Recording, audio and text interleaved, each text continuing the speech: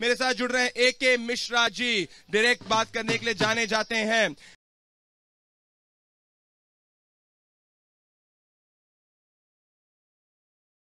Eight one four hijack हुआ था।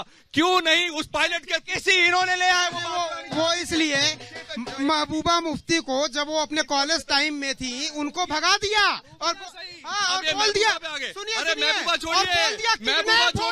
अरे आपके बेटे मसूर रजत के ऊपर बात करिए। नाइनटीन सिक्सटी आवश्यक। 1961 उसको मार में नाइनटीन सिक्सटी वन में आप लोगों ने चाइना लेते हैं?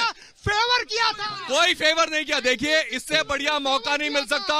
हमारी सेना पूरी सक्षम है। कर्नल साहब यहाँ पर है। उससे पहले यहाँ जो इंटेलेक्चुअल टेररिस्ट है उनको मार गिरे आप इस तरह की भड़काऊ बातें ना करें। मैं भड़काऊ बातें नहीं कर रहा हूँ और मैं ये बोल रहा हूँ दीपक जी मैं जी हाँ तो जैश के आतंकवादी को अपने मुंहतोड़ जवाब दे दिया है जैश ए मोहम्मद को मुंहतोड़ जवाब दे दिया उनके आतंकवादी को मांग रहा है। अब क्या बोलेगा टुकड़े टुकड़े गैंग पैनल के पास आने वाला हूँ?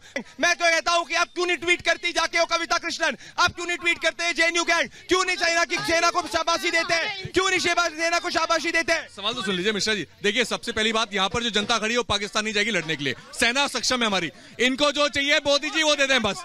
जो चाहिए इनको। हर हर आदमी सेना इन्हीं लोगों में से चुन करके जाती है। वो सेना में यहीं के लोग भर्ती होते हैं। कोई कोई इनके घर से नहीं जाता। सेना में यही के लोग देखिए आपस में लड़ने का कोई फ़ायदा नहीं है। लोग यहाँ के दर्शकों यहाँ पर जनता पूरी जागरूक है। जनता को समझ आ रहा है। देश का हर आदमी देश का सिपाही है।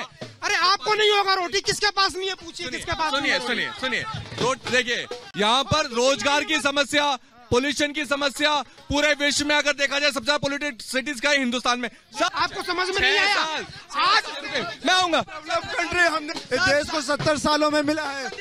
नमक रोटी खाएँगे राष्ट्रवादियों को जिताएँगे। तो बोलिए सर ये मुझे बताइए सर मार दिया आतंकवादी आप क्या करेगा? टुकड़े टुकड़े। पहले भगाएँगे। ऐसे लोगों को जो पाकिस्तान का समर्थन करते हैं सुनो कांग्रेस का शशि थरूर का लव अफेयर किससे चल रहा था बताइए।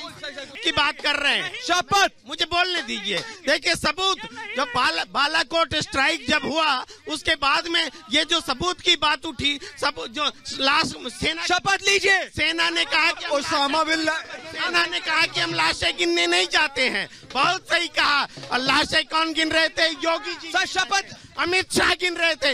आज तक दुनिया को नहीं। अगर वाकई वाकई अगर एयर वाकई अगर इतना बड़ा दमदार स्ट्राइक हुआ तो पाकिस्तान में इतना दम क्यों है? वो हमें आके क्यों दिखा रहा है? उसकी हिम्मत कैसे हुई? वो एयर स्ट्राइक ऐसा अगर दमदार था? हो गया। अब बस सुनिए मैं शपथ लेता हूँ। मैं शपथ ले रहा हूँ। आ रहा हूँ मैं। आ रहा हूँ। मैं आ रहा हूँ। तुम दोनों पे आऊँगा। रुक जाइए। बोलिए बोलिए। क्या ये पाकिस्तानी है क्या? वाई टॉक लगे पाकिस्तानी एक से रुक जाइए। बोलिए। लादेन मारा सुनिए अरे सुन अच्छा लीजिए पहले नहीं एक से शपथ। सर मैं शपथ ले रहा हूँ। देखते कौन शपथ लेगा। जो शपथ लेगा हाथ उठाएगा भी रुक जाइए। मैं शपथ लेता हूँ। पूरा देखिए आप। कौन? प्रेम जी ने शपथ नहीं उठाए। प्रेम जी ने आप आप शपथ नहीं लेंगे। हाथ उठाइए। क्या कर रहे हैं? प्रेम जी हाथ नहीं उठा गर्दन काट के लाइए पाकिस्तानियों की। कोई सबूत नहीं मांगेगा। गर्दन काट के लाइए। अरे सुन तो लीजिए।